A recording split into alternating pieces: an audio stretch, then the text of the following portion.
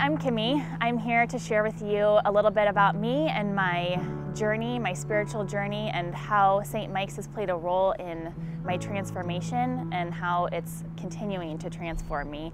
I don't feel like there was one moment where I felt transformed. I feel like it's been a process. It'll continue to be a process, and here's just what it kind of looked like. I've been Catholic my whole life. So when my husband and I joined St. Michael Parish in 2010, it was normal and comfortable to find a ministry I wanted to be involved in. And because I've always been a Eucharistic minister at parishes before, it was a simple choice to join that ministry. At one particular Mass a few years ago, I was serving, holding the precious blood, and a man came up to me to receive the Eucharist for the first time after his confirmation. And when I looked up to hand him the chalice, I noticed that his eyes were filled with tears. I was uncomfortable for a second because that's not something necessarily that you see every time that you're serving. It caught me off guard. I noticed joy in his face, um, the anticipation, the longing that he had had to receive the Eucharist. And it was in that exact moment that I realized that I had not approached the Eucharist with the same joy and anticipation as he did. And I wanted to know why, and I wanted to change that. I wanted to realize what an absolute gift it is, and I wanted to become more aware and more grateful. I noticed then, after reflecting on that moment, that I had also paid attention to those in Mass around me and had come to the realization that there was something different, that I had noticed people bowing their heads. They were so much more prayerful than I ever felt. Um, I, I noticed a sense of relationship with Jesus in the Mass, and I longed for that too.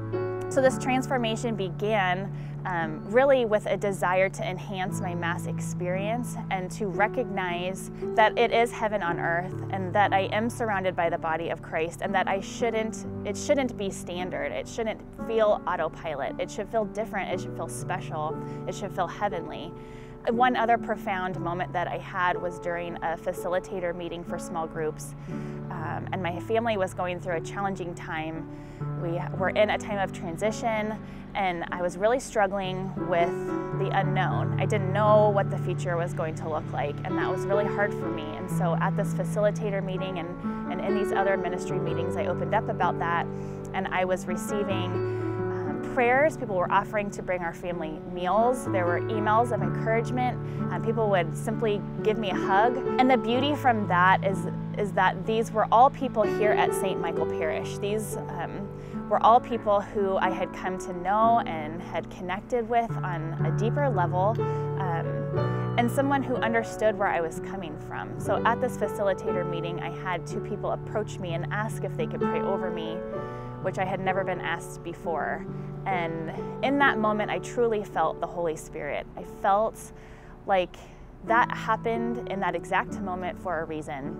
Had I not opened up about things, had I not become vulnerable, had I not uh, decided that my heart needed to be tender, I would not have experienced that love, and I would not have experienced that love which is Christ. I have truly gotten to know Jesus further through the people here at this parish. So while praying over someone might not be your strong suit, um, really all it takes to show the love of Christ and to look at other people through his lens of love is to look someone in the eye. And that's how my transformation started, was really just eye contact. So I encourage you to look at the people next to you in Mass. Look at the people who are serving with you in ministry and know that you all have one thing in common, that we're all here, we're all longing for Jesus, and we've all met at the altar before. Just know that and know that it's okay to open up, it's okay to say hello, to offer a handshake, and to allow those around you to lead you into a deeper relationship with Jesus. People here are real. Like there are people here that aren't real, but there are a lot of people who are, who are like genuinely, authentically Catholic who live it at church but also in their homes. That's a big one for me. So that's, I don't know, that's how I, it's like, well, if they can do it, I can do it.